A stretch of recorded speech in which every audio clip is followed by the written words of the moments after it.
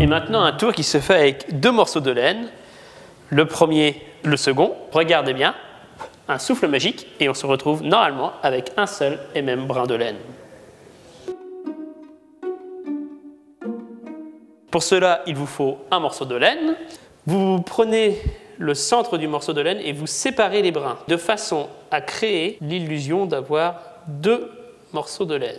Vous prenez les morceaux en main comme ceci et vous serrez à ce niveau-là. On a donc maintenant vraiment l'illusion d'avoir deux morceaux de laine.